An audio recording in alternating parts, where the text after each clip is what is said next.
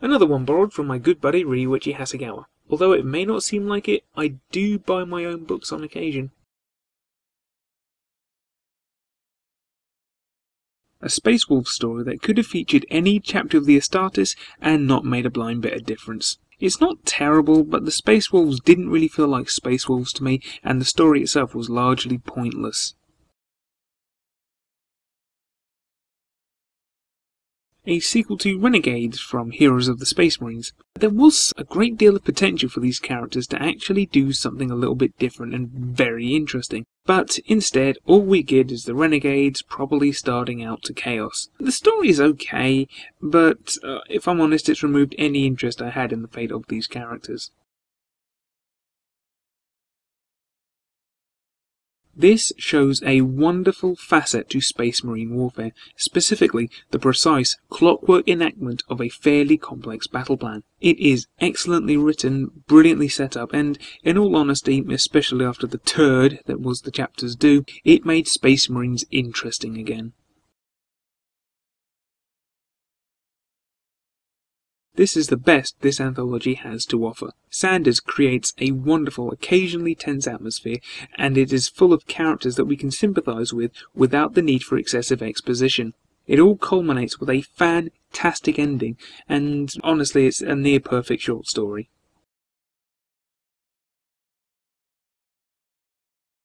It's it's okay. I believe this was originally an audio story of some sort, which goes some way to explaining its slightly odd structure. But it does one thing that really gets on my pecs.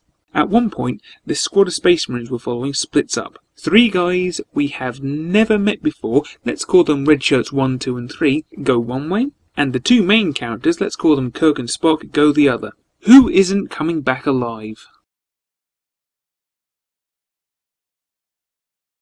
A simpler tale when compared to others in this anthology, but it's all the better for it. In some ways, it's a true unstoppable force meets the immovable object situation, as the Imperial Fists, who are defense experts, defend against an oncoming horde of Necrons. There is some good action, and it has an ending that perfectly avoids the cheap get out of jail free resolution. Although the Death Watch short from a previous anthology did have its flaws, I largely let them slide because the story itself was fun and a little bit different. Alas, not so here. There are a few inconsistencies dotted throughout. Details about character relationships are delivered ham-fistedly and pointlessly, and the ending was predictable. Not to mention the action was more than a little bit shit. Quick factoid, the Silver Skulls are a chapter that were developed by 40k fans on the old Black Library forums, and most of whom migrated to the Black Library Bolt Hole. As for the story, it's not that bad. I mean, the idea is pretty interesting and the ending is decent, but Cawkwell tries to fit in too many details about Silver Skull culture, which ultimately ends up ruining the pace.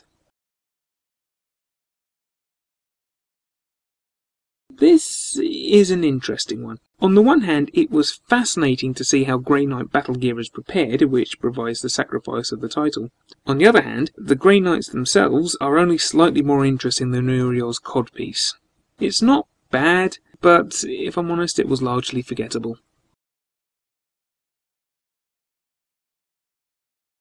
This one definitely has a worse meh to good ratio than the previous Space Marine anthologies. The only stories equal in quality to And They Shall Know No Fear and Honor Amongst Thieves from Heroes of the Space Marines are Long Games at Carachias, which is easily the best here, and Black Dawn. This is truly a shame, and I hope this is more of a blip than a sign that the Black Library just aren't bothering anymore.